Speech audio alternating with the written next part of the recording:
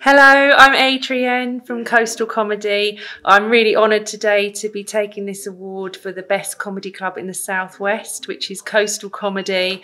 I'm very, very proud. I started it in 2015 in one small hotel room in Bournemouth, and now I've got other venues and right up to the big 650 seater theatre at the Lighthouse, which this weekend we're selling it out with Rosie Jones as our headliner. So I want to thank every single audience member that has bought a ticket ever, and I want to thank all the fantastic acts because it is all about them, really. Thank you so much from Coastal Comedy.